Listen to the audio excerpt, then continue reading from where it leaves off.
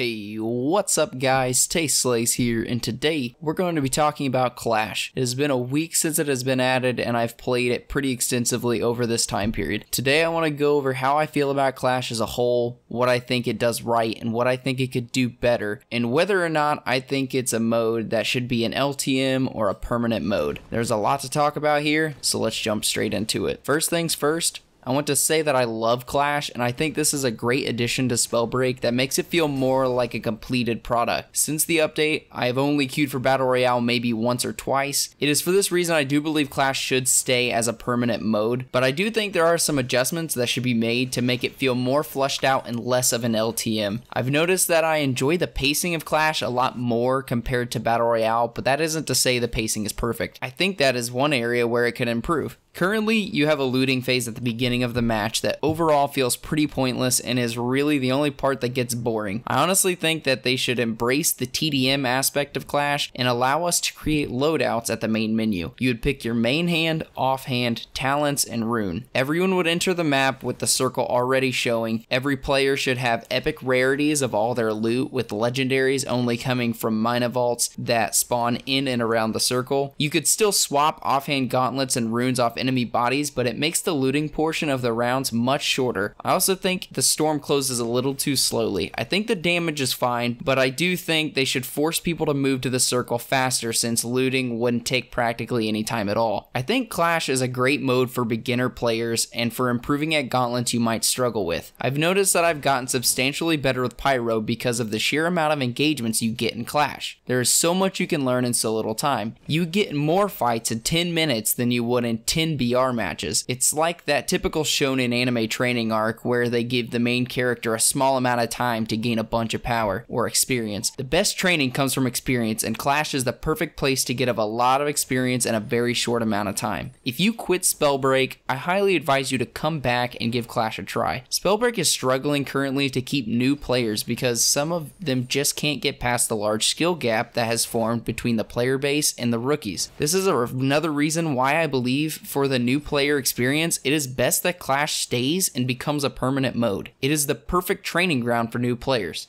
Another thing I've noticed in my time playing is that Clash currently lacks build diversity, and I think there are a few reasons for this. The number one culprit is scavenging. Because of the lack of potions in Clash, which to address it, I do believe it should stay without potion spawns. It also makes scavenging almost essential if you don't want to die a bunch. The best way I can think to alleviate this would be to give everyone a form of scavenging on Exile. I don't believe it should be 50 health and shield, and more like 25 or 30 health and shield. If they are unable to make this change Clash specific and they would have to add this to the game as a whole, it should be somewhere around 20 health and shield. This would free up the body rune slot and also nerf a talent that could be considered overpowered even after its recent nerf. Recovery has some solid secondary options, so I don't believe it's as big of an issue as scavenging, but it's also pretty dominant in the third slot considering ambidextrous isn't as good as we all expected, and thirsty is useless in this game mode. I would be interested to see if the dev team can actually balance the modes separately, and I think they would benefit from individual treatment. I'm sure you guys have played it enough, you've noticed the meta of Clash is very different from BR. Conduit is at the top of the mountain in BR, but struggles to get the same results in Clash because of how many enemies you are fighting at one time. Conduits need time to focus on one player and take them out. Pyro has risen to the top of the mountain for this very reason. The damage per shot of Pyro and the splash damage makes it perfect for Clash. Toxicologist is a close second because it's really hard to track an Invis Toxic player while you're getting fireballed and stoned by his buddies. I love that Clash has a different meta, and I think if they embrace this, it would be better for the player base as a whole. It would allow you to change up your gameplay and pace if you are getting bored of a certain meta in one of the playlists. For example, if you can't stand Conduit, it'd be better right now for you to play Clash because it's way less oppressive there. If you get tired of being fireballed 24 7, then you could switch back to BR, where Pyro is still good, but once again, not as